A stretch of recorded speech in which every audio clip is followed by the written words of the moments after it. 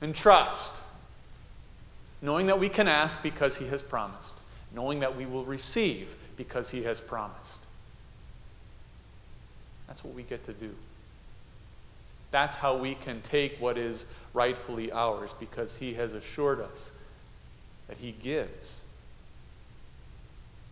That's what we learn in this lesson. That's why Jesus teaches the lesson and does it in the way that He does through His silence, by evading the questions. He shows that He did, in fact, come for that Canaanite woman. In the same way that He came for the lost children of Israel, in the same way that He came for you and for me. He showed that this gospel message is for all those who need it, all those who have sinned. He shows that God's plan of salvation is for everyone because that's God's plan of salvation. He came to offer grace.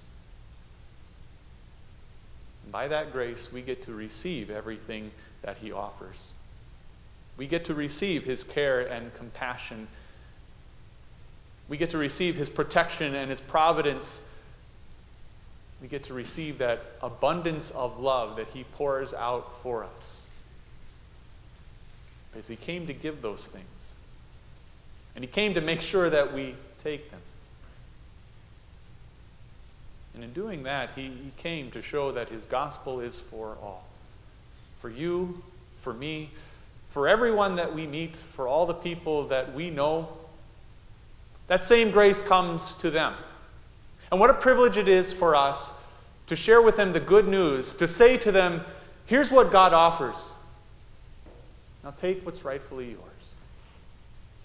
What a joy, what a blessing it is to be a child of God.